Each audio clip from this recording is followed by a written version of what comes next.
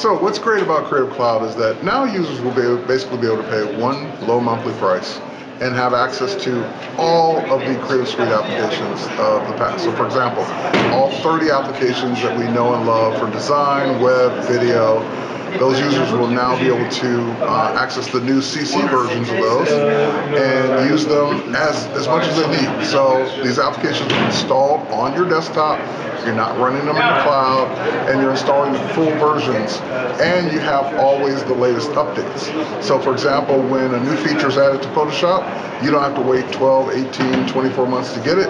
You basically just click whenever you're ready to download that update and install it. So that's kind of what I really like about the concept is that I no longer have to plan and think and wait and say, oh my God, they're gonna come out with a new version of Photoshop, you know, this year it's just whenever there's a new feature, I get it already. So um, last year, December was kind of a big update with new features in Photoshop. We're already updating it again for June. Uh, this year with the new CC apps, all kinds of new camera raw features and sharpening features in Photoshop. Uh, for Illustrator, the new touch type tool, I'm really loving that, as well as the new brushes that we can now make from bitmapped images.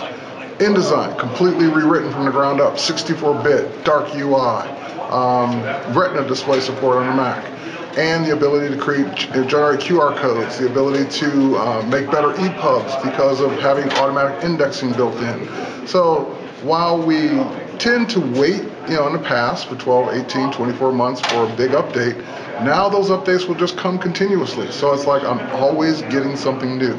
If you think about the old Creative Suite model, um, you had to wait for everything to be ready to ship. So now, for example, if there's a new Muse feature, which we just got some new Muse features in February, it didn't have to wait for Photoshop, it didn't have to wait for InDesign, it didn't have to wait for Illustrator. Muse was ready, they delivered their update. So when Illustrator's ready, like for example, last year when they delivered their package update, it was just up right there and available. So that's the beauty of this, is that not only do we get access to everything, but we no longer have to wait for everything to be ready at the same time.